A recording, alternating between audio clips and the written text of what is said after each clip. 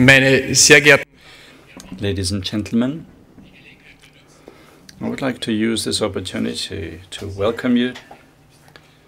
As you can see, we're really moving forward very quickly as intended, but this is a military institution after all, and everybody who's coming through that door will have to bow to this game plan. Now, we're talking about strategy consulting uh, by people who are actually doing the job, the practitioners. So this is a decisive issue. And today we have uh, five speakers who will not only, well, who not only have an extraordinary career, but also a lot of experience in this field. So it is owing to their function, but on the other hand, it is also out of their own interest and following their own career. Professor, I'm thinking of you in particular. And there are a lot of people in the room who are knowledgeable about the subject matter, and that takes me to a couple of questions that are related to that. So, is strategic consulting desirable or not even wanted? And does this uh, advice uh, arrive at where it's supposed to go, or are people recalcitrant and do they resist our advice? What people often say is there is no culture of giving advice. What is meant by that is that the political decision makers don't uh, want to bring in consultants on certain issues and to well get their know-how and then based on that to take their decisions. So that takes me to the next question. If you are now in the role of a consultant, it's not only how do you feel as such, but what expectations do you have as a consultant, and what expectations are there from the other side of the people who are to receive advice? I believe that is quite significant. So we should not really have wrong expectations when it comes to the provision of such advice or consultations. You, you always need to know your own position and that of the other side, but that's what we learned anyway, the assessment of the situation. Now, an important point is, of course, how do you organize it? What ways and means can we find in order to render advice, to give advice? So it's probably not going to be always the same way. That will probably depend very much on the other side, where you have to deliver your advice. And one point that comes up time and again. A question that is raised often is when can you be considered to have been successful? Are there criteria that determine about the success or failure of advice given? That's, of course, quite individual and depends on the expectations you had beforehand. And that's what I always ask myself, and that's what I would like to share with my speakers in a short reflection. So, how do you see this based on your own experience and what would you advise future consultants to do? This brings me to our speakers. It is really a pleasure to welcome Professor Schueftan.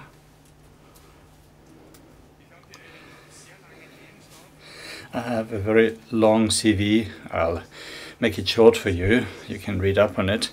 He was the director of the National Security Studies Center at the University of Haifa. And you were a consultant for 40 years at the highest political level. You provided advice not only in Israel but also in the US, to the US Congress in particular. And you published on the subject of strategy consultation and thus also provided kind of advice. And you also taught at the university. So from your CV, I have identified three target groups, so three channels. One is the direct approach, to advise politicians, then through media and publications, and the third way is through universities and the decision makers of the future. A cordial welcome to you.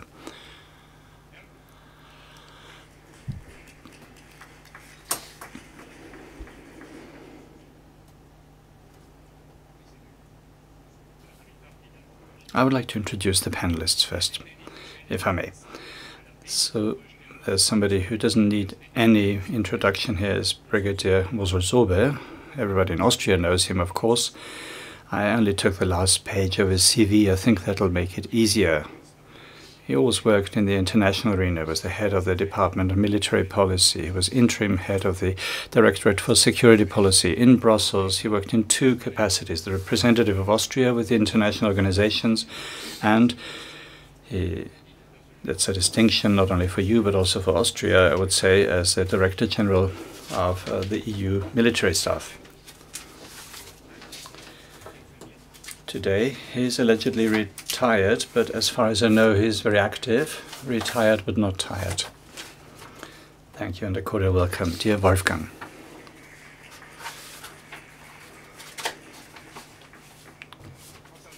From Albania, we'd like to welcome uh, Brigadier General Sandor Lleshaj.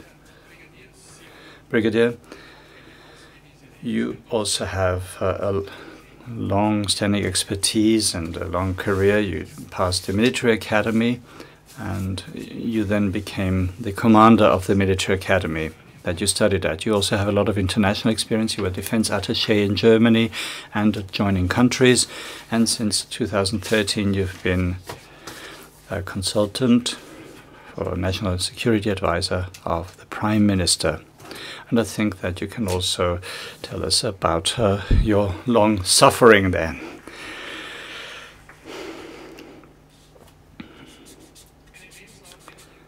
There's another CV that I've never seen before in this form. That's uh, General Major Yair Golan, from the platoon commander all the way to the commander of a division. used all over the place in the northern section, all the way to the deputy uh, chief of staff. So, an incredible career. And you're also known and you became famous by a speech that you held in 2016, where I think at the political level, not everybody was very happy, but that caused a lot of, well, attention, and that's a form of indirect advice to create attention and to Oh, well, speak your mind when you think it's the right time to do so. Thank you very much and welcome.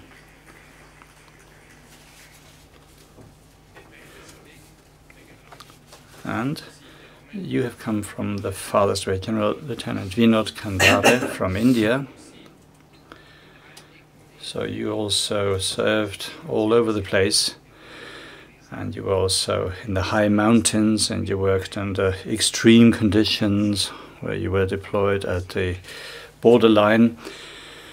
Very difficult, very challenging. You also collected a lot of international experience during a UN deployment in 1993 in El Salvador. You're a highly decorated officer, and in your role as a Director General of the Military Intelligence Service and Deputy Chief of Staff, you were often capable and required to provide information and advice whether you liked it or not. So we are very much looking forward to hearing your experiences. A cordial welcome, dear General.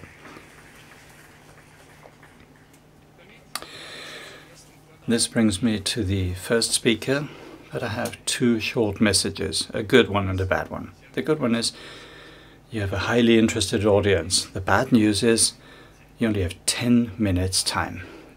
And this is why I prepared some little cards. You have three minutes left, one minute left, and I'd like to ask you to respect this. I don't have a red card, but this isn't football after all.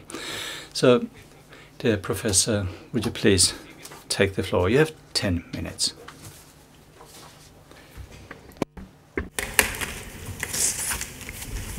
Good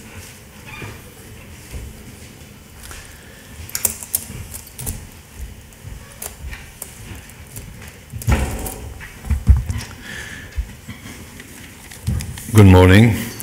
Let me start by saying that I've never been and I could never be a consultant that is part of a system. In other words, I've never been employed by the government or by the army or by any other government.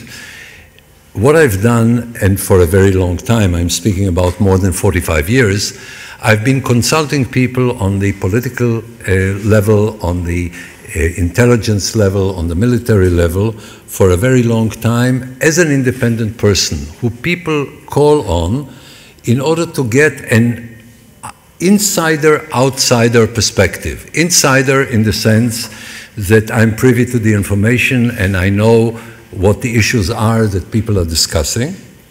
Outsider in the sense that I'm never part of the system, and what they want is a perspective that comes from a person who knows the issues but is not part of the system that is making the decisions. And I will very shortly say what it takes in order to get access to people, not the physical access that you can speak to them, but they will actually listen to you, and there is the possibility that they will even consider what you're suggesting. And then I want to concentrate on the question of substance. What is the kind of advice that you can give that, in the final analysis, has effect on decisions that are made? Not that they ask you, what should we do, and then they do it, but listening to what you have to say on what they're about to do and suggesting a different perspective, very often making an impact on the final decision. What you need in order to get access, to be seriously considered, is first of all a kind of reputation that you accumulate over a long period of time. People who consult you will then consult you again if what you've said had anything to contribute to them. The second is the question of credibility. In other words, you have proven again and again and again that when you made a suggestion, when you made predictions, because these suggestions are always associated with predictions. If we do A, B will happen. If we will not do B, C will happen. And very often, the offer is not do something, but don't do something. You have the urge to do something, don't do it. To give only one example that comes to mind immediately, there is a civil war in Syria. It looks as if it's a great opportunity for Israel. The best thing you can do is nothing. In other words, not become involved in a civil war. To tell people not to, what not to do is not less important very often than suggesting what they should do. The third element is discretion, and I cannot overemphasize this element. You're speaking to people who are in a political situation, in a political environment, and they're very, very sensitive about their own position. If you're not absolutely discreet, 100% discreet, then A, the only people who will take your advice will be of one political camp, and then people of the other political camp will not even consider it. And even in the same political camp, people are rivals. They're in politics. That, this is what it's all about. And if anything ever leaks, you're done. And therefore, never speak to a decision maker when there is more than one person in the room outside of you. If others come and there is a group, be very polite, let them speak, say nothing. Because wherever there are more than two people, it will leak. And if it leaks, it completely loses every effect, and maybe you will have a specific effect on one decision, but then you will never have an effect on decisions again. And by the way, your commitment to discretion does not end when the person dies.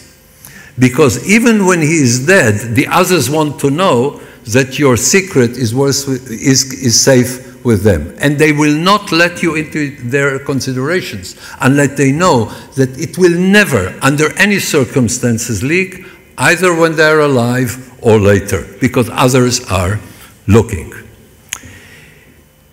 The fourth is find out what your relative advantage is. Because if you start giving advice where you think you have something very smart to say, but you don't have a relative adva advantage, better shut up. Let me give you what I believe to be my advantage, or people who come from my side of the um, events have an advantage on.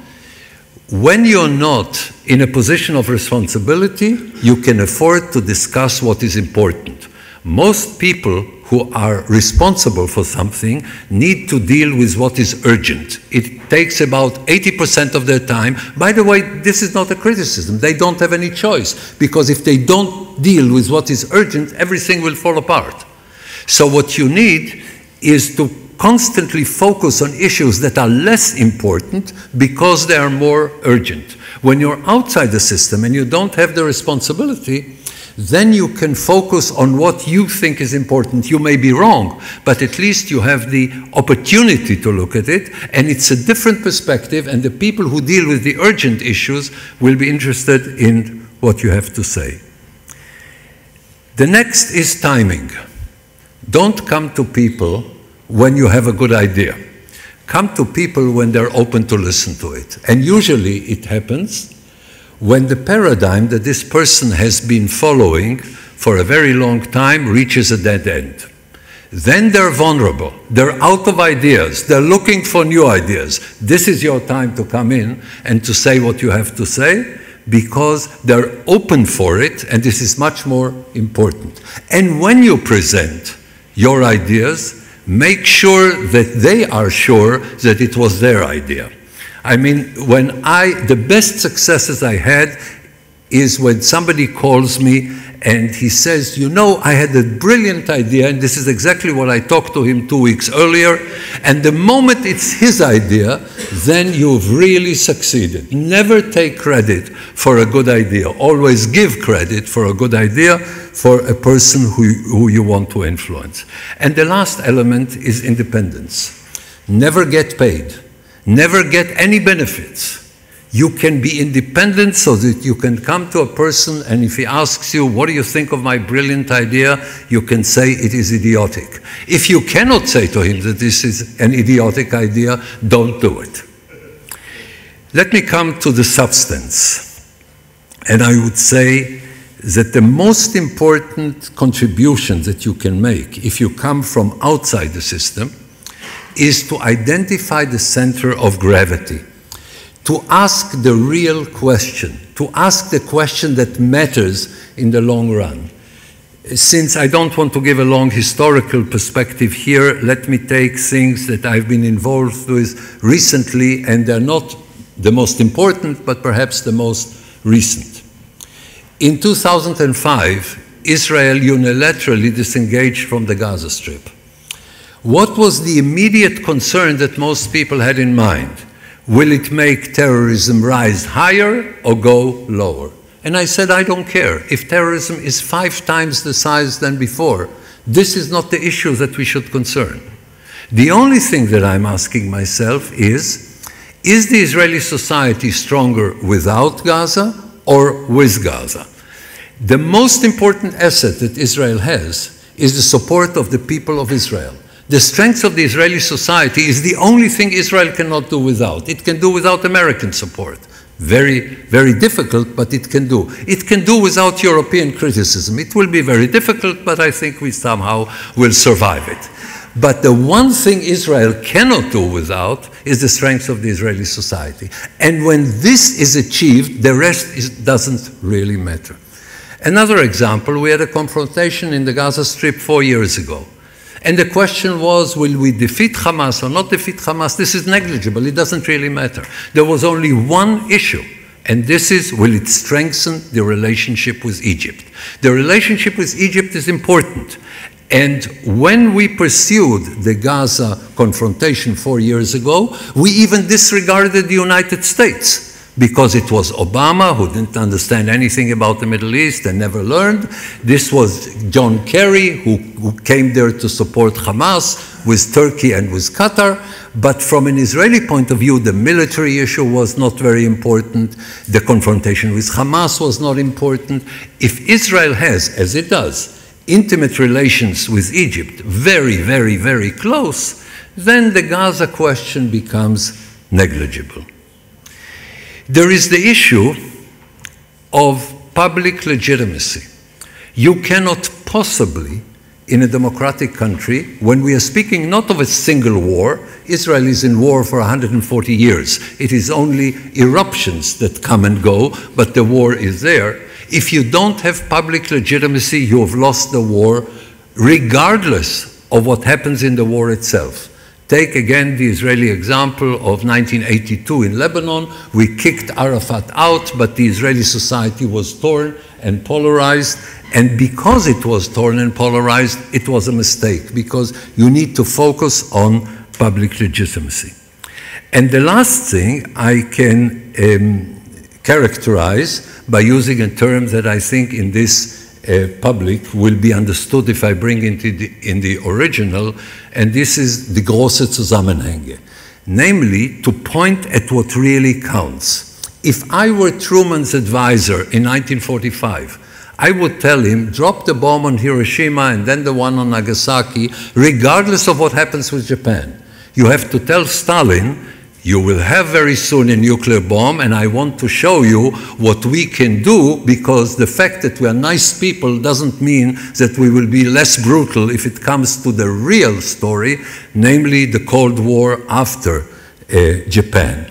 If I were, God forbid, the advisor to Trump today, I would tell him I don't very much care about a single decision that you make here and there. The important thing is that you demonstrate that you're willing to change the rules of the game. Because you don't come to a place when the United States and you say, What are the rules I will play? You say, I am the United States, the rules are those that make me win, and I will show you how. This is the große Zusammenhänge. I had a few more examples, but I'm trying to be civilized. Thank you.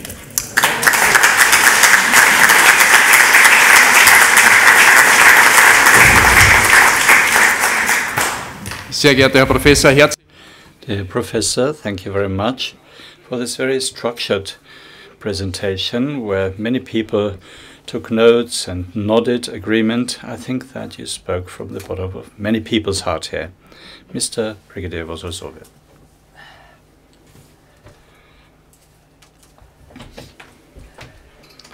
Thank you, Brigadier.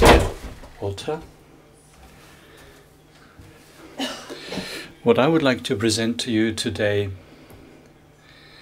is the attempt at making a systematic assessment strategy consulting at the interface to the political decision making level.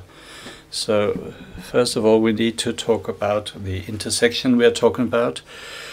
What about the contents of uh, strategic consulting and, based on my specific experience, what does this look like when it comes to a strategic system of the European Union?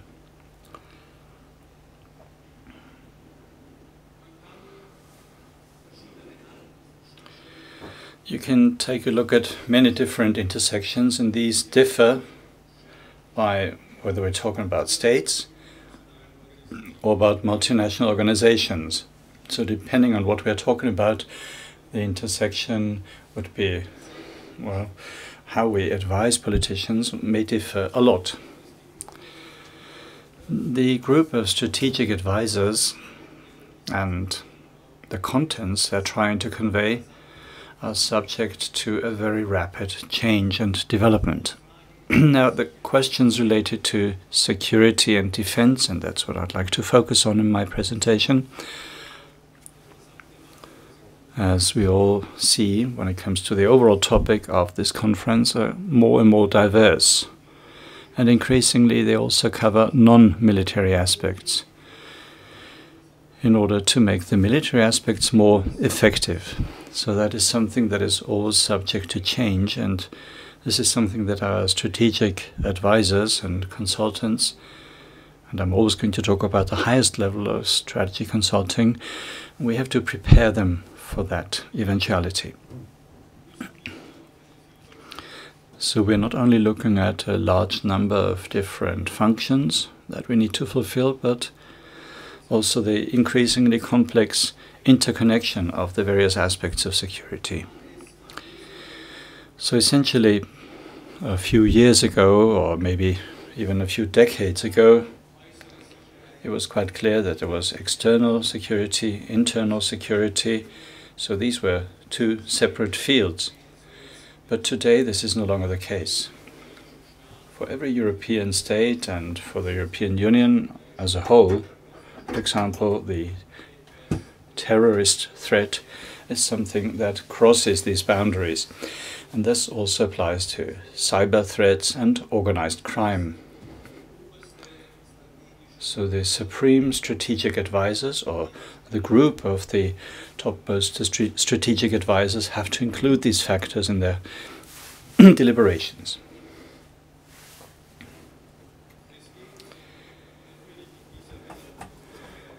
Of course, based on my personal experience, I will talk primarily about the military tools. But these factors, of course, need to be considered. The description of the interface,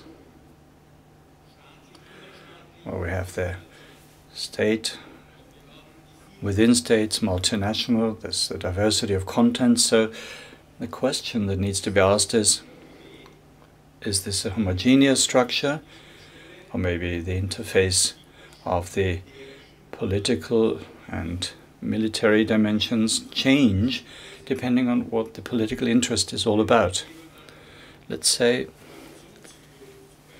in a given command situation for an operation, it could be the case that only a very general level of information is available to the topmost political decision making level, and on account of a political event, all of a sudden there is an interest on shedding a closer light on some of these issues. And then, of course, the interface, the intersection will change.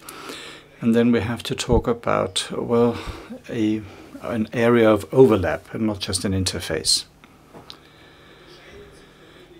And then, of course, there is a difference between individual states and indi between individual organizations that are completely different intersections depending on how fast the decision-making processes occur in this organization or state in question. If these decision-making processes occur very quickly in a very homogeneous way, then the interface and the advice will work differently than in states where there is much more complex and much more multi-layered approach when it comes to decision making. Here in Europe, I have two examples. On the one hand, there's France, where this interface is actually the chief of staff and the chief of the general staff. And there's Germany, where this interface is much more complex. The parliament needs to be involved, the federal government needs to be involved. So all of these are things that, well, don't happen like that in France, or maybe ex post, after the fact. So that changes uh, the responsibility of the advisor in a decisive way.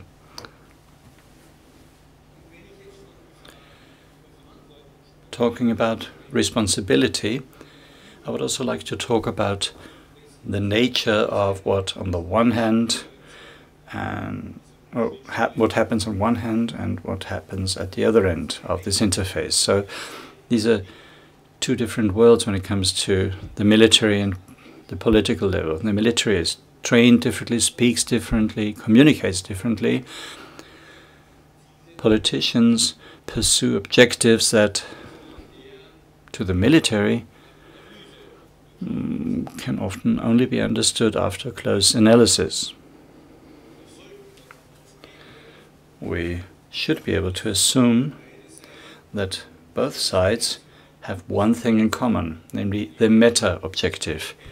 That is to say, to develop our armed forces in a meaningful way and to carry out operations to make sure that they're in the interest of the whole or the state. If that isn't the case, then we need to work towards that. And that is one of the most important tasks of consultants and advisors. Now let me briefly refer to the international organizations. There it is especially difficult to define the interface because we have at least two of them. There's one interface within EU, NATO, and other international organizations, as far as Europe is concerned. And then we need to also link up with the capitals of European countries, where the question is asked, is this in line with our interests? And there's another loop of advice given there. So we have uh, two interfaces, the politics, military, and the various levels. So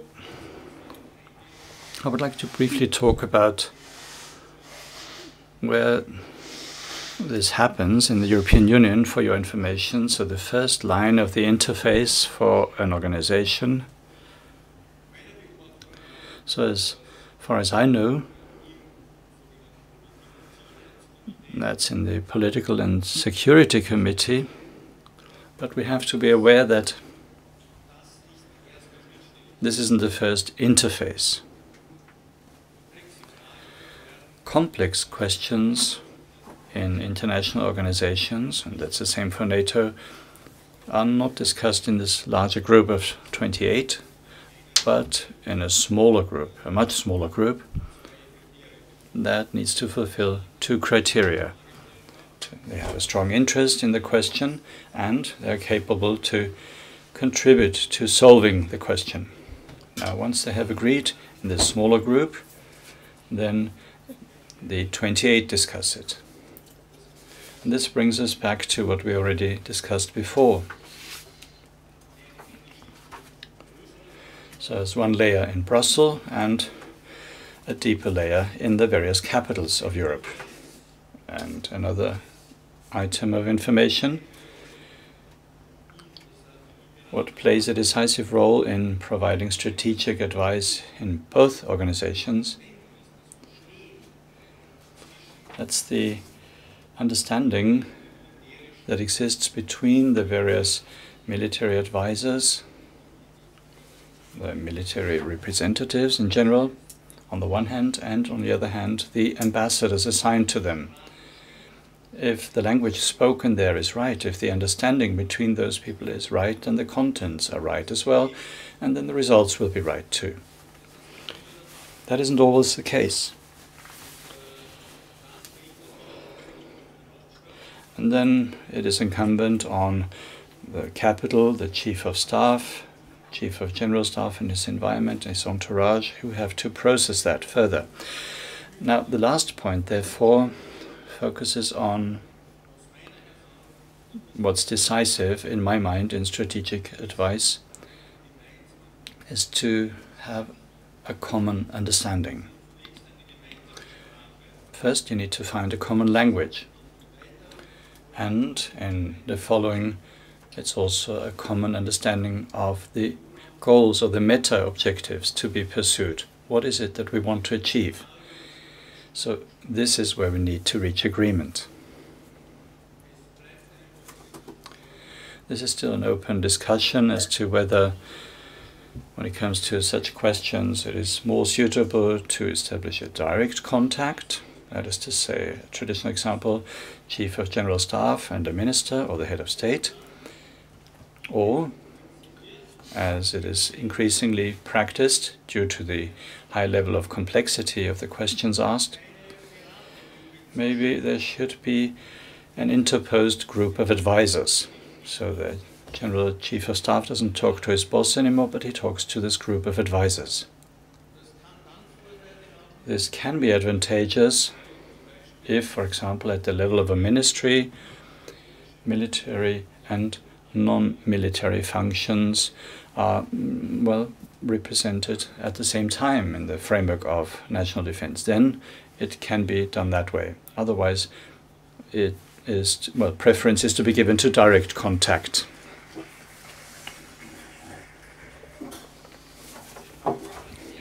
Thank you, Brigadier. I believe what has been shown now quite well that there is a big difference whether this is being done on a multinational or national level or within the framework of an international organization.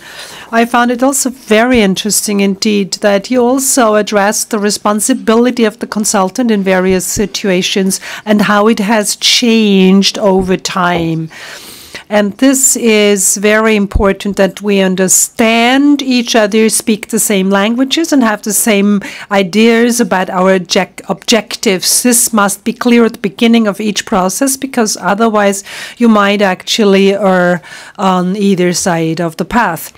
Uh, Brigadier General, I would like to ask you now to report on your Albanian experiences. You have gone a very special uh, path, down a very special path indeed in recent years. Feel, thank you very much. Good morning. I'm going to try to speak in German because 24 years ago I actually learned German here and I spoke my very first German words here at this very place. So I'm going to try. So maybe Um, I will not um, go, follow the guidelines. I will speak more about the Albanian context to highlight the situation. Albania is a small country. It's a very old, very, very old nation, but a tiny country.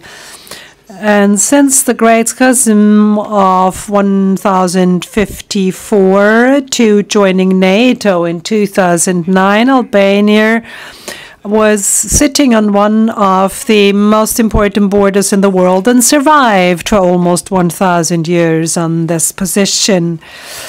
This was the border that separated the West from Byzantium. Uh, and uh, so Albania was always there at the border for over almost 1,000 years, um, the border separating the Ottoman Empire from the West.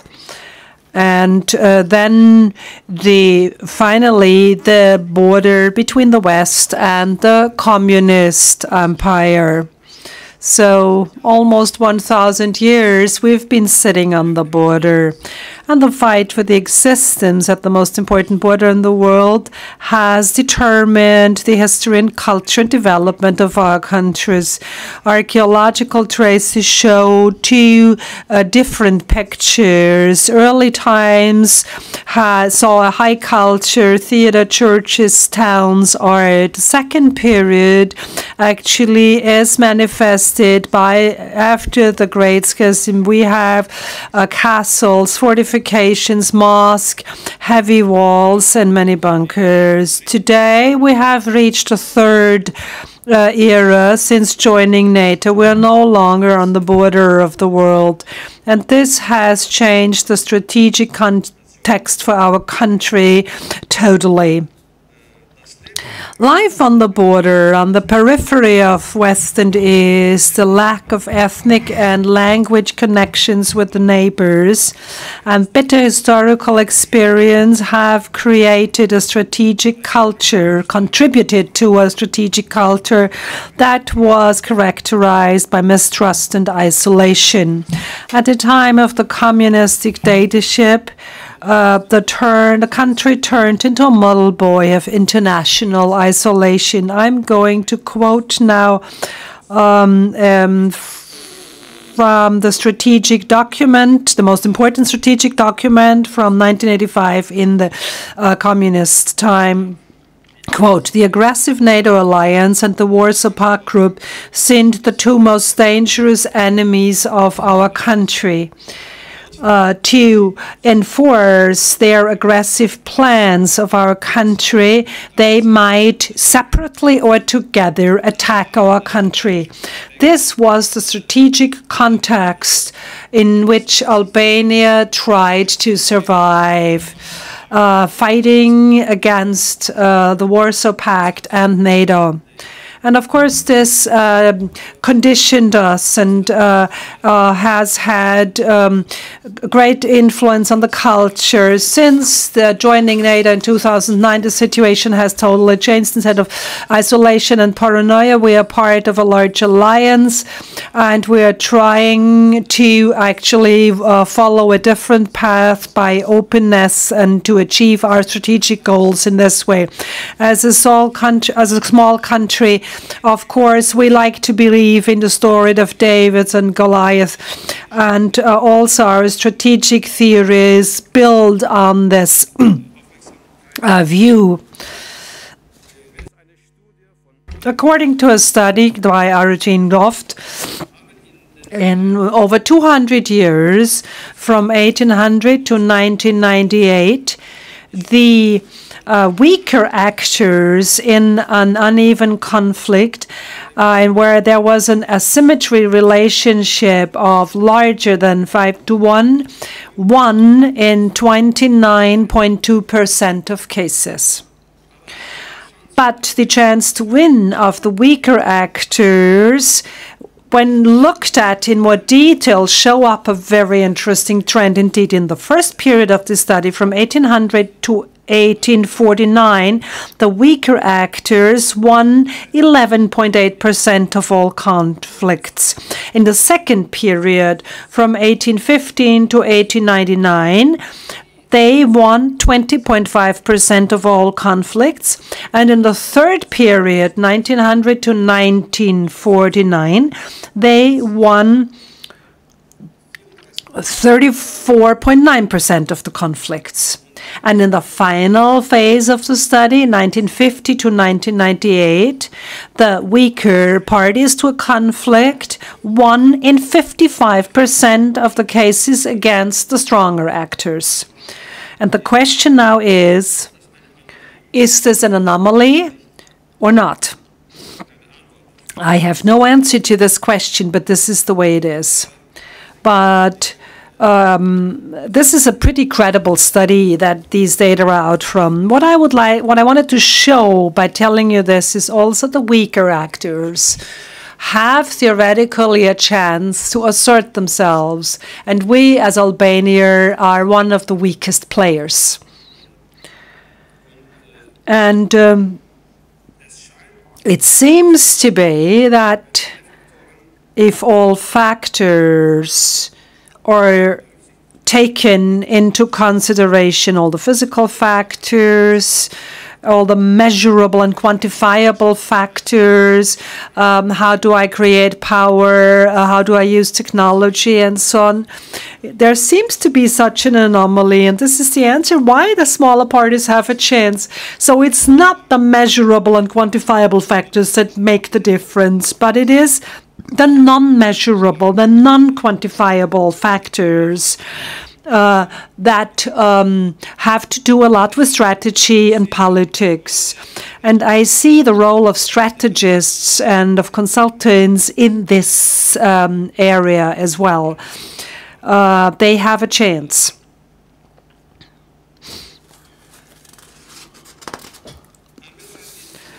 In view of uh, these connections in Albania, uh, we have now mm, done the following in Albania since joining NATO.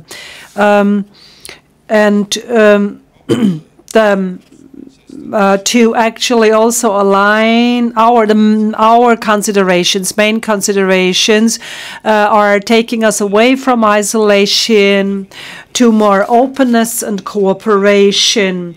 And our national strategy that um, we was passed in 2014 is characterized by the thought that more chances exist. Uh, more than risks uh, with this new orientation of openness. Um, either we uh, react to dangers and risks that are found to be everywhere, or we try to use chances. And um, our approach is rather to go for the chances actively and I would like to give you a few examples what this means.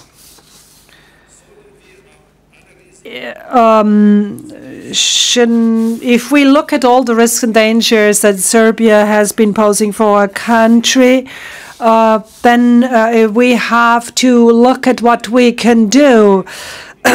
or shouldn't we rather go for uh, something else, uh, build up a perspective that's different. We were looking more for um, options and possibilities and not so much just reacting to risks and dangers. The first, the first visit of a uh, Albanian prime minister to Serbia, we started a historical dialogue with Serbia after over 70 years of no contacts whatsoever on a higher political level. And today, uh, it's all different different. The climate between the two countries is very different from uh, the times before, although uh, the improve the relations could still be improved. Um, um, especially, and of course, uh, Serbia is a very special case in point, and there are many challenges. The same approach we tried with Macedonia and with Greece. Um, we are trying to um, strengthen our ties with Greece um, and to uh, do away with the ghosts of the past going back to World War II. There is a martial law that's still valid, um, and this really needs to be done away with. And now I'm getting to your question, Brigadier.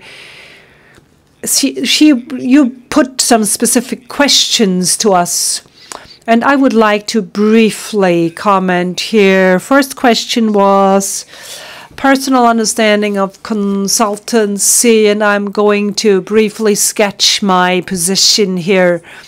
I would like to say that we know as consultants, we advise the power players and um, of course, uh, no power claim must be on the side of the consultant because otherwise you end up creating bizarre tensions. Uh, what is important for me is to learn more. Um, I'm no longer an apprentice. Um, and when I was studying here, I learned all this. Um, I learned here that there is a lot more to it than what appears to be the case. Uh, it is important that the perspective, um, and this is something that I've learned, um, it's um, uh, the perspective matters. You have to uh, actually um, play from behind. It's important to understand that there are competitive areas, and security is just one of them. And therefore, it is important to understand there are also other important areas, and not just the one you are working in. And at the end, I'd like to maybe disagree with Professor Schueftan or say something different rather. He said, don't give advice that is not asked for. Well, uh, don't stay in the questioning mode. mode. Um, this is connected with politic strategical culture. In a country like Albania, if you only wait until people ask questions, you will never get asked. So it's important to take into account the strategic culture or the culture of a country. And if you want to change things, you have to ask questions in Albania. Um, um, this, I think, has to do with a number of factors. As I said, the cultural um, uh, tradition and also the individual person and their background. Um, you have to take into account who is the person uh, that you are consulting. You uh, sometimes need to be a little bit provocative. Thank you very much. Sehr geehrter Herr Dear Brigadier, thank you very much for your deliberations. I think you have given us an example of a strategic decision at the top level, namely how to come up with an overall strategy, how to support it and implement it.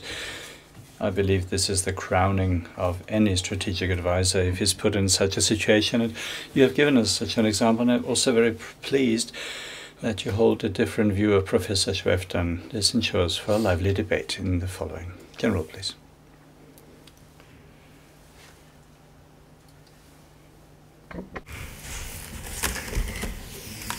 Ladies and gentlemen, well, let me start first uh, to say to my Albanian friend that we have great affection to small ancient people.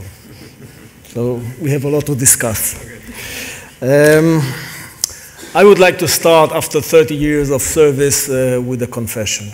You don't mind. Uh, what is the confession? Yes, here and there along my career, after meeting the political echelon, we used to chat, you know, we generals, between ourselves and saying, ah, they understand nothing, they don't really explore the subject, they ignore every, you know, inconvenient considerations and things like that. Uh, we were wrong. Why we were wrong? Well, First of all, it's not very productive, but in a way, it's a bit stupid. Because the question for the military echelon is how to enhance, how to facilitate good discussion with the political echelons. Otherwise, what you get? Almost nothing. Uh, let me talk about three typical malfunctions. The first one is misunderstanding. The second one is about unnecessary presumptions. And the third one is about averting responsibility. All right? It's a good deal for, you know, noontime. Um, let's start with the first one. Um, at least once a year, we approach the political echelon with our uh, operative plans uh, in order to confirm them. Uh, what we used to do is to take the most severe but still reasonable scenario, making a plan for that, and demanding, of course, the resources in order to support the preparations. Makes sense. In most cases, I would say almost all cases, uh, the political echelon confirmed the plan. But the minute we get out of the room, we understand totally different things. And let me describe that. We understand that the political echelon really accept the scenario as the most important one. And secondly, yes, we have an expectation to get the budget in order to support the preparation. What the political echelon understands is something completely different. We confirm just one scenario of many, not necessarily the most important one. And secondly, money. What is the connection to that? Nothing. Uh, the second issue. The second issue is about unnecessary presumption. We think in the military that we are very wise. And we know from the media, from formal discussions with the political echelon, that we understand the very basic consideration of the political echelon. So we shape our plans according to our understanding.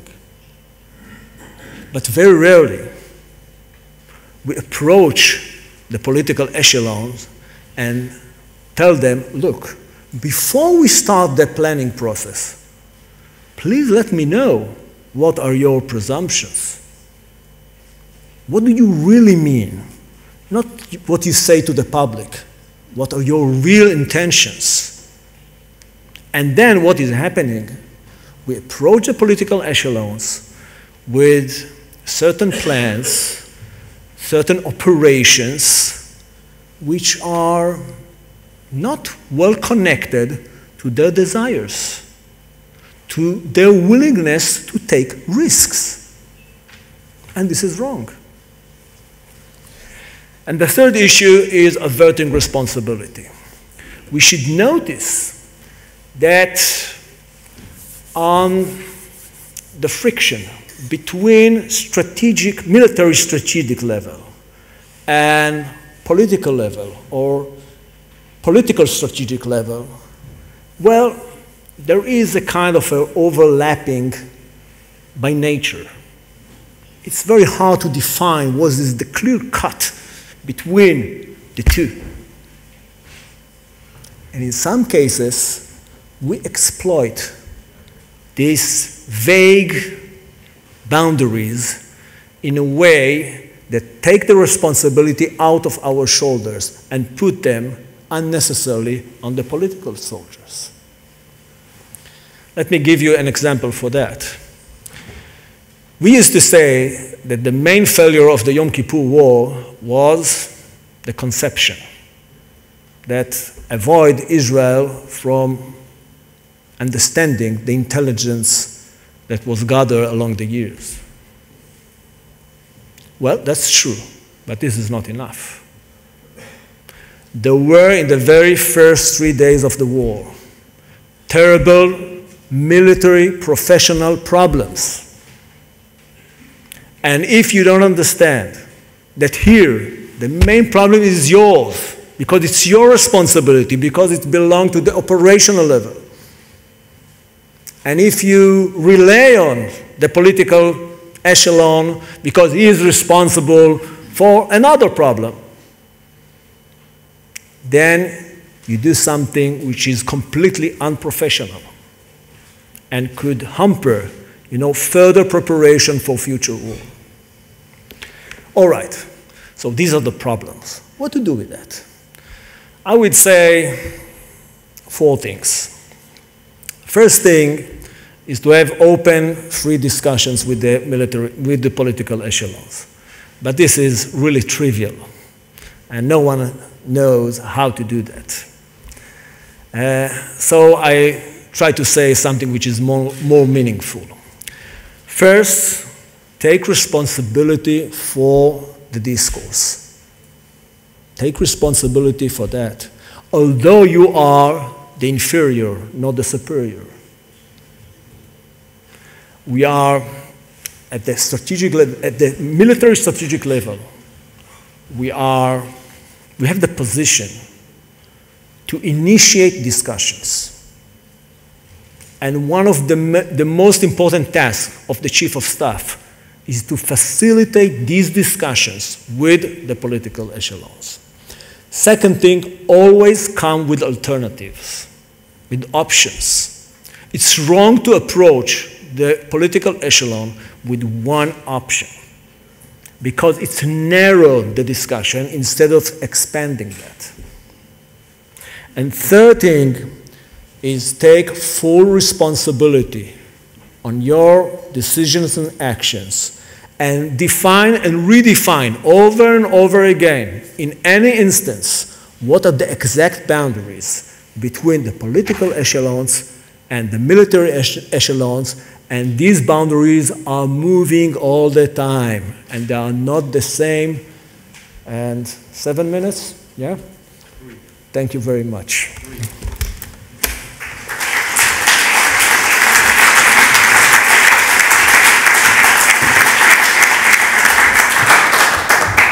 General, thank you so much on your precise um, Three minutes, you have three minutes remaining afterwards. Three minutes for, you know, the next session. Okay, Kind of Ex exzellent.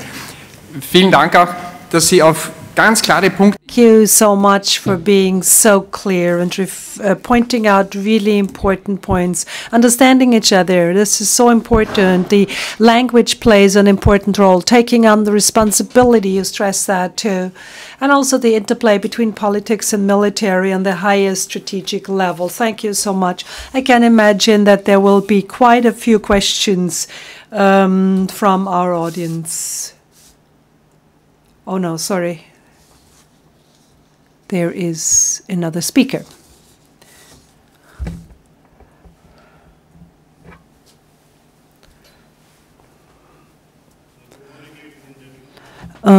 It gives me immense pleasure to be amongst you.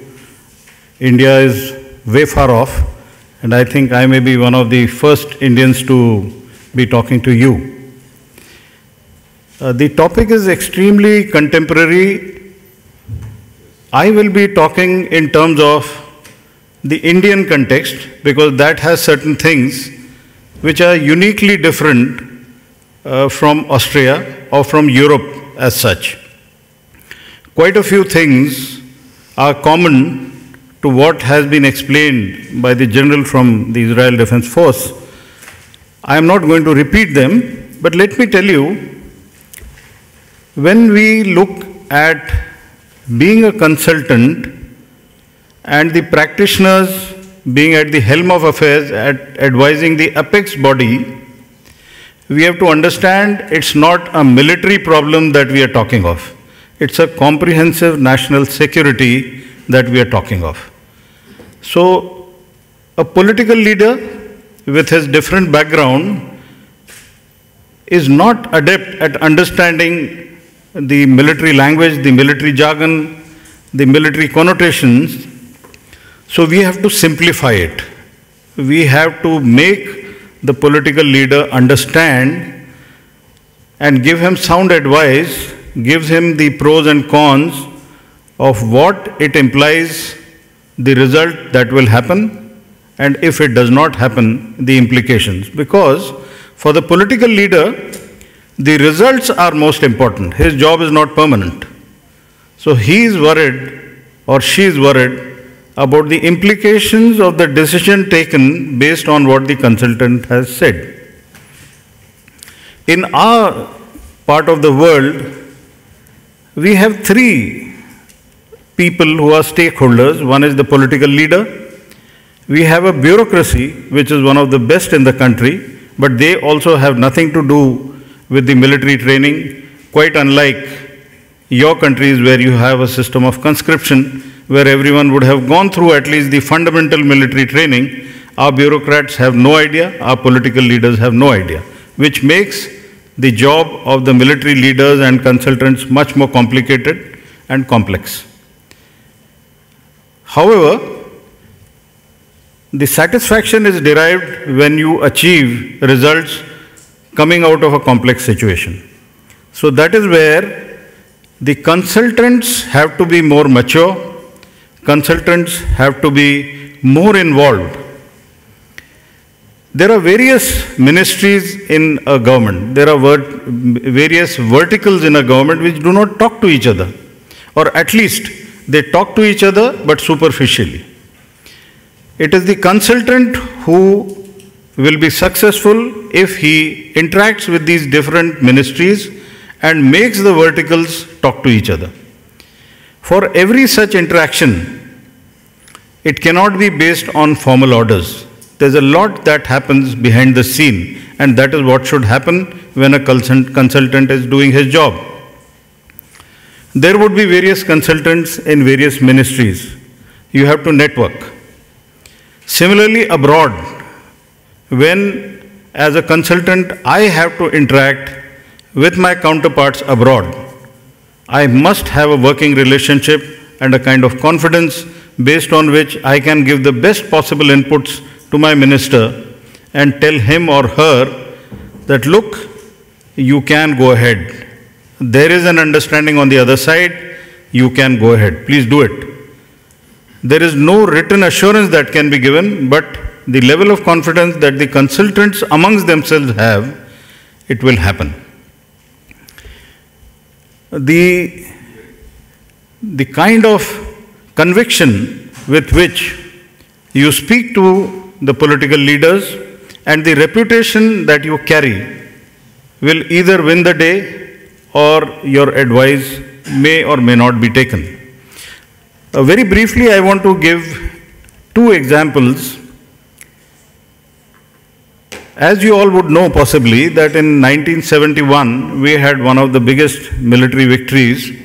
I do not want to say it was a military victory, I would say it was a national victory when we went to a 13-day war and Bangladesh was formed on our eastern flank. It was a strategy of the government and the strategy of the government was to create our eastern flank with a different state.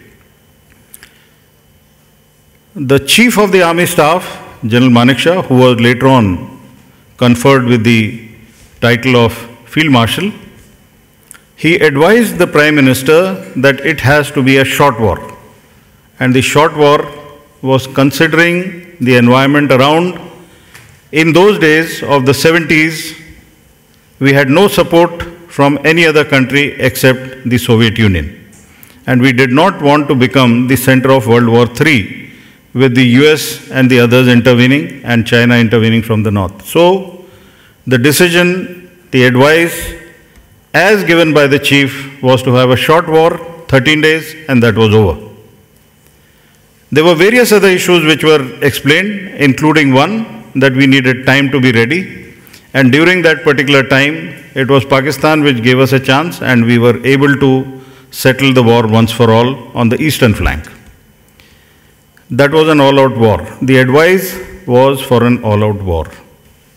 However, in 1999, when Pakistan caused aggression on the icy heights of Kargil, that is the Himalayas, the advice this time by the Chief of Army Staff was to keep it limited, to keep it a limited war. The reason was very clear. In 1998, India had done nuclear test and India had, put on a, had been put on a number of sanctions. We did not have resources. So the ideal situation was to keep the war a limited war, and that is exactly what was done. The emphasis is correct advice in the correct format would win the day. As consultants, one of the best advice somebody gave to me don't be a confrontationist, collaborate with the political leader, advise him, cooperate with him, you'll have the best solution for the nation. Ultimately, what we have to always keep reminding us ourselves be a nationalist, put the interest of the country first, don't flaunt your position, and don't show as if you are the one who are pulling the shots. Be in the background, and the country will benefit. Thank you.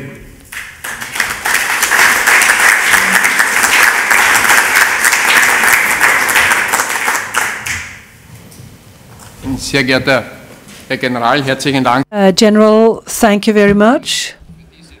Uh, for these examples and for sharing your experience with us. I don't think there is a more dramatic way to point out how important it is to have the military expertise on one hand and to have all the capabilities and capacities and knowing about the limits of your resources and capacities. And on the other hand, to have the political understanding on the possibilities of, poli of politics and what you can do and contribute in critical situations. Thank you very much. Ladies and gentlemen, we have 10 minutes now for discussion. They are all yours.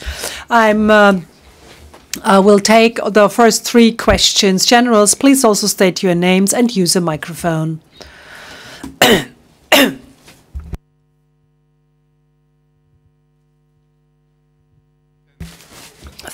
uh, you that advisors must be discreet, they should never reveal what they said and so forth.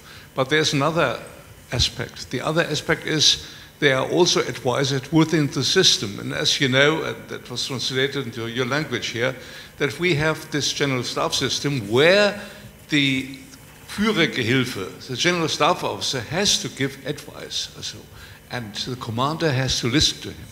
And this is why we stressed yesterday, the day before yesterday, and, and that comes too short that he who gives advice so is responsible for his advice. That must be highly stressed. And we all made the mistake for a long time, also in Germany, to say, well, we gave advice, but the politicians have made this or this decision. That's absolutely wrong. We cannot do this. And that is just you escape because you escape from responsibility if you do this. And to my Israeli friend, generally speaking, I think, and we, we always, I always did this in my publications, we have a German term grundsätzlich, generally, a decision-making process must be, must be run at every level of political, strategic, military, strategic, and the board.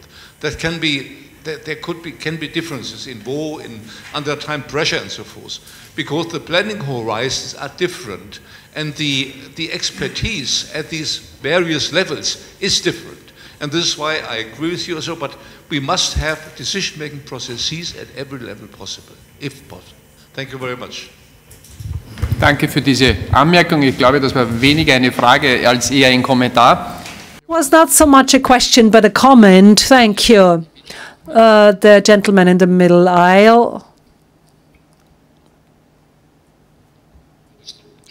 Uh, Colonel Rosenwitz. Thank you. I'd like to ask a question question to General Lleshaj. We know each other, and uh, we met in Albania and had talks. Um, Albania now is actually waiting at the gate of the EU.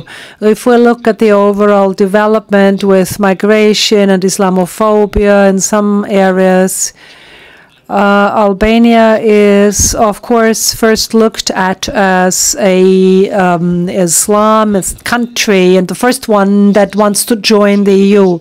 Is this my this is my question? Is this a political dimension that you have to deal with, where you can do something, where you prepare the politicians that there may be a others, and especially the the citizens of these countries um, uh, who want to do business with Albania.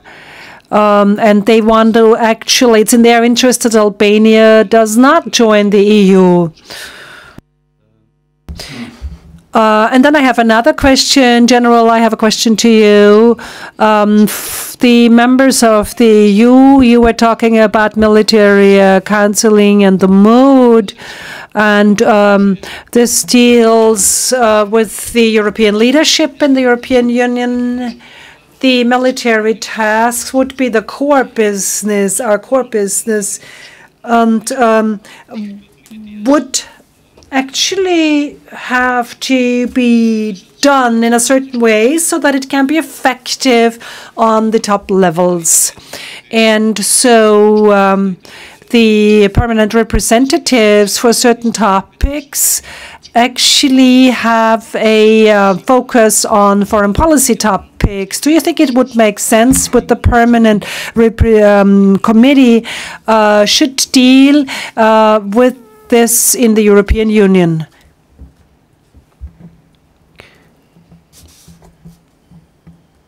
We take another question.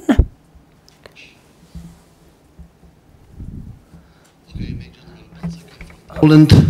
Uh, two short questions. My first question to uh, our professor, first speaker. Mm, it was very interesting.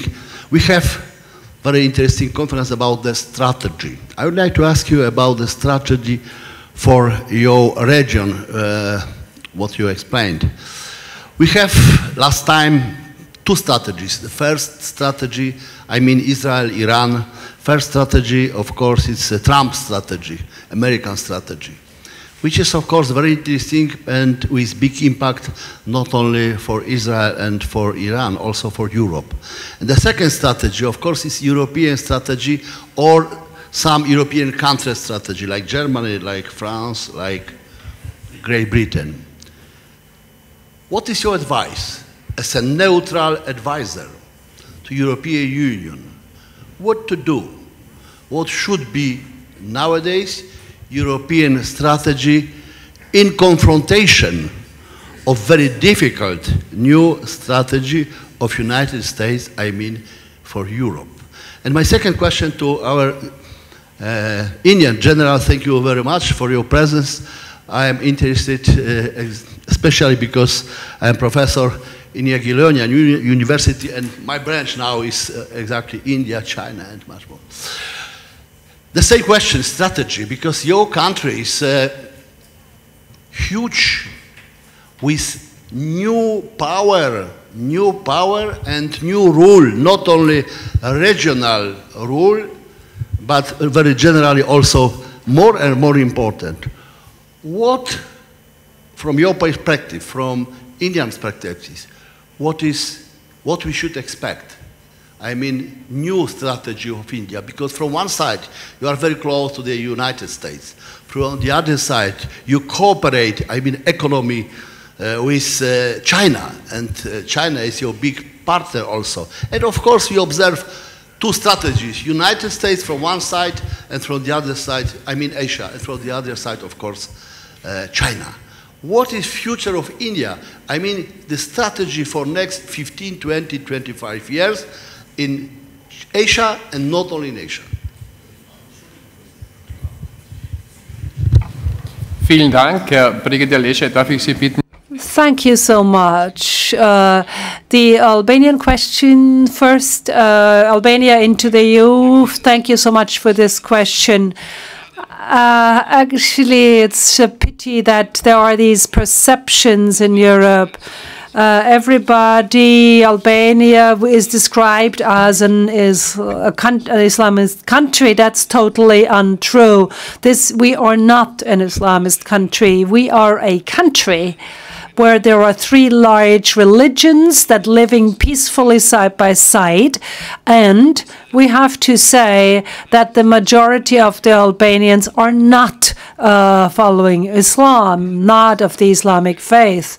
Although this fact is known, Albania is still uh, called a Muslim country. And uh, from this perspective, of course, um, uh, political decisions are also influenced in Europe.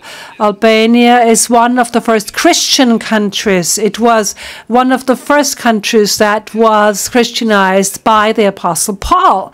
So, um, although the Ottoman Empire, of course, left traces, and um, uh, many people had to convert to Islam under the Ottoman Empire. But why did they do this? Um, this is something we could discuss because they were Catholic. And for the Orthodox Church, the Ottoman uh, Empire had a concordat in the sense that they would allow them to keep their religion. And this is why the Albanians had to convert. They were forced to convert. And still, Albania is a country where all religions are represented and the majority of the population are not Muslim. So this is a fact that Europe apparently doesn't know. Um, um, I don't know how this uh, view of Albania came. It's the country of Mother Teresa. It's a country where last year 38 Catholic priests were um, actually uh, elevated and blessed by the Pope uh, on in one session. Um, and uh, this uh, uh, can only happen in a country where there are a lot of Catholics. Uh, and this is the truth. Forgive me if I'm getting emotional now. And um, so we have these priests that were beatified, and it is um, a big mistake to actually call a Catholic country a Muslim country. This, strategically speaking, is a great error and it, altogether Europe tries to become um, smaller um, and by moving together. And so I don't think this is politically correct to call Albania a Muslim country. We always say that European culture is based on Christian, Greek, Roman, Judaic roots. And with these roots, we also have them. These roots are all actually outside, almost all of them outside the EU. Nine of ten uh, Roman cities are outside of uh, the EU territory. Only Rome is the only large city of the Roman Empire that is within the EU now. And instead of going back to the roots, um, and by this I mean to expand accordingly. Europe is trying to isolate itself and become smaller, and this is a great error in my mistake, in my opinion. So uh, we have no other alternative, I hear of. In, but we in Albania, sorry, we have no other alternative but to join the West. Because culturally and in, in all other respects, we belong to Europe the question remains whether we will be in a position to change this perception on our religion and um, um, correct it it does not correspond to facts. Thank you. Brigadier, thank you very much. I think you uh, have made a substantial contribution to correct this picture, and I can only support this from my personal perceptions in Albania, in your country. Brigadier, finally, a military advisory council, um, so that this is not being discussed solely in the foreign policy um, committee. Well, I can't really answer this so directly because nobody can say whether a committee for defense is the best solution. What is clear, however, is the dynamics of the past two years have shown that we need to make changes, that we need to change the political military interface in the EU and especially the political leadership system. Uh, but in to do this, uh, we need to clarify a few questions first. How far fast do we want to do this? What do we want to decide on first? There are two strands in the EU, the large area of uh, uh, de developing a joint defense um, uh, culture, and the other one is the actual operations. And the urgency of the speed is especially on the operation side. Um, um, the same structure. Probably this means that we'll have the same structures because the operations are actually uh, decided on in the council and in the external service, and the defense uh, organization questions and the capabilities are moving in the direction of the commission. Now, how do we want to do this? What will happen in the commission? I'm just asking questions at this point. Will they, in the commission, develop their own structure for this and organization? organization for this. We have seen in recent days that there is a proposal uh, for a defense secretary in the commission and that those two commissioners should actually act together uh, who have been dealing with these questions most. This is all in flux. The question remains, well, on the table, and this question has to be um, approached uh, dynamically because things are moving very fast in the European Union on this front. Thank you. General, India in the next 20 years, what would you tell us? As I understand, uh, let me explain to you the strategy obviously is next 20 years, 50 years. Strategy is not for next five years because next five years are only elections. So we have to look at strategy for next 20 years, 50 years. There's a lot of competition that has been generated with our northern neighbor China. So we have to look at the strategy of China also. So we know where is China going by 2025? We know where is China going by 2050. Our strategy gives out our policies and very clearly our policies are our own. They are not dictated and they are not pressurized by anybody. The United States of America suddenly one day felt that India has to become its pivot in Asia. He said, no, India will be on its own. So India engages well with United States. India engages well with Russia. India engages extremely well with each country on its own.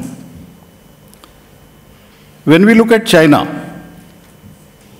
we took a stand and we said Belt Road Initiative, we are not going to be a part of it. It's a principled stand because to our west, the China-Pakistan Economic Corridor goes through the area of Kashmir, which is legally ours. So therefore, we have said we will not be a part of the initiative for which most of the countries of the world are taking part in that Belt Road Initiative, not India. What I want to emphasize is India takes its own decisions irrespective of what is lured, what is given as money or whatever is the pressure. India does not come under pressure and India is known for that. What is our strategy? Our strategy is we will not get drawn into unnecessary conflicts and waste our resources, but militarily we will be strong enough to be a deterrent externally.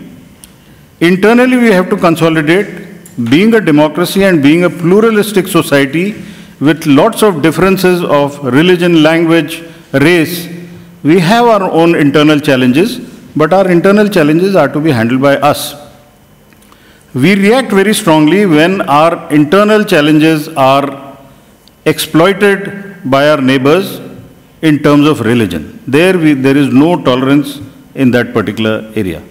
So we look at our own strategy in terms of economy, a strong military for deterrence, a lot of advancement in science and technology, especially space, cyber also, and we also look at a strong health sector and education sector. That in itself is a strategy.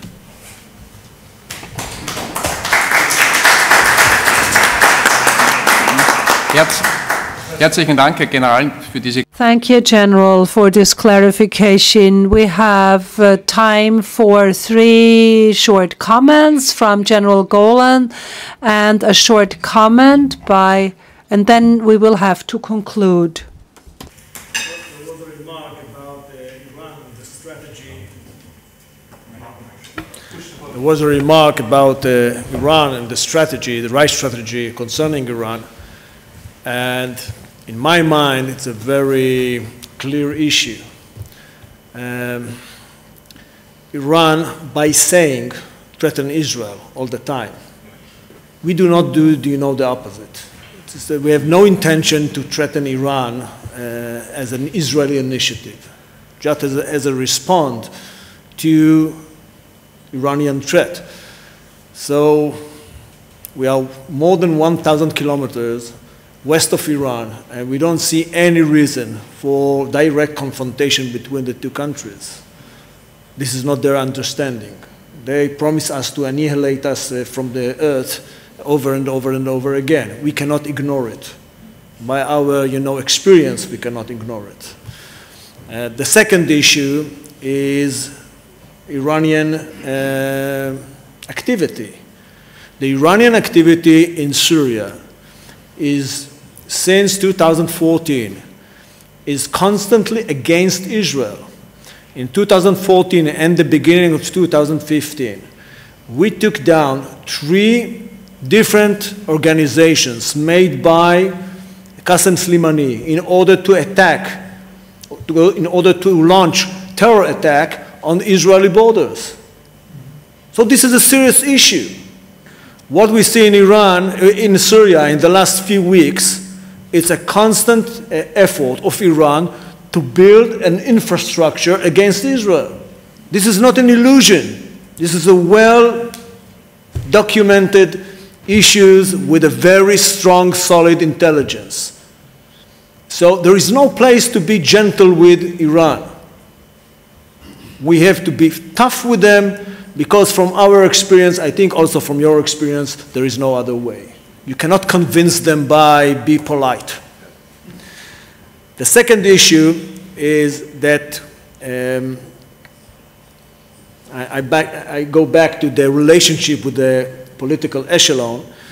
Uh, you need to define at the very start of every discussion with the political echelon what is the self confidence, the level of self confidence of your counterpart.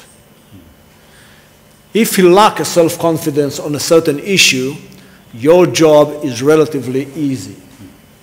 If he has a lot of self confidence, you're going to work very hard if you think differently. Yes. So you need to define that, you know, and prepare for that. And the third and the third thing is, well, Personally, I don't like the term uh, advising.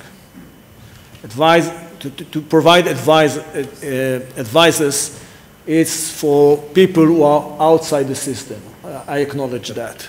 But if you are inside the system, you need discussions, not advices. Perfect. Thank you. Professor Schueftan. Let me first respond to the remark that you've made here uh, politics is the blame game and the credit game. And the political echelon, particularly on the top level, want to take credit for things that succeeded and want to put the blame on somebody else when it fails. And therefore, when you're inside the system, you're part of this game because you're part of the system. Because if something succeeds, then the decision maker wants to take credit. If something did not succeed, then the people who gave another advice will leak to the press that they gave you another advice, and therefore they will want to get the credit of having been in a position of trying to prevent this uh, uh, misaction from taking place. So in the final decision, the decision maker is very careful about what he gets from inside the system because what he will be criticized for anyway is not having an orderly system of decision making. So what a smart political leader does is he first of all makes up his mind, then he has a system of orderliness uh, that he doesn't take seriously, and then he can make up his mind by consulting people inside the system and outside the system that he trusts. But it all focuses on the personal trust of, of this person, and it has to do with discretion. Concerning what kind of advice would I give the Europeans vis a vis Iran, understand that you are not a power. Please understand, Europe is not a power comparable to the United States. Europe cannot have an independent strategy vis-à-vis Iran. It is too serious to leave it in the hands of the Europeans. So can you affect the American decision by doing this or that? Yes. Can you have an independent decision that will stand in the long run in the way of an American decision? No. And I think the Europeans take themselves too seriously because they believe that if they have a foreign affairs ministry or whatever they call uh, this structure, they also have a foreign policy. Europe is not united. There is no United States of Europe. We are going further away from it and we are not coming closer to it. So if you want to be polite, you cannot say anything intelligent, and therefore I'm not trying to be polite.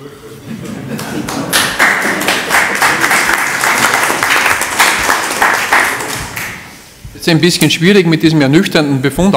Well, it is a bit difficult to end on such a sobering note. I think we need to add something to that. Well, of course, I'm aware that there's still a large number of questions, comments, and statements.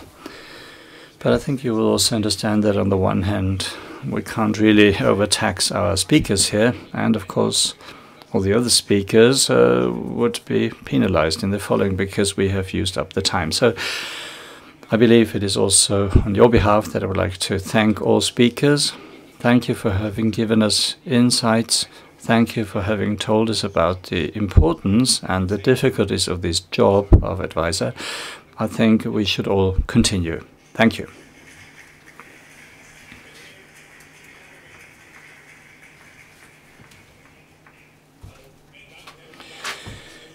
Ladies and gentlemen, I can't let this session end without thanking Brigadier Feichtinger for the excellent moderation. I would like to thank all panelists. Unfortunately, we don't have uh, time to listen to you longer, but Professor Schueftan, General Golan, and General Khandare will be giving individual presentations in the course of the conference, and you can always ask questions after they gave their presentation. We also have a question from a Facebook user for Mr. Schueftan. We are going to keep the question until further notice, and then we will tell the user that she will get the answer later. So thank you very much. This has been a highlight of our event. Now, just stretch your legs for 45 minutes, and then uh, at 45 we'll meet again for Erich Durchschmidt's presentation. And of course, there's a conference wine for the panelists. Panelisten. können das nicht nehmen, weil wir fliegen.